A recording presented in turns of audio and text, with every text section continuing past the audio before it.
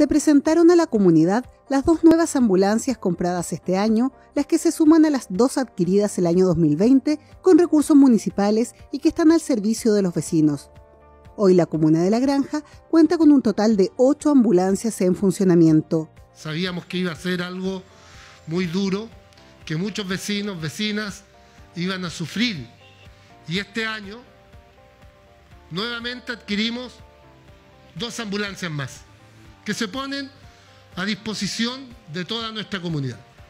Aquí están y presentamos las ambulancias. Contar con estos nuevos vehículos de emergencia permitirá seguir apoyando a todos los vecinos, especialmente a quienes son afectados por la pandemia.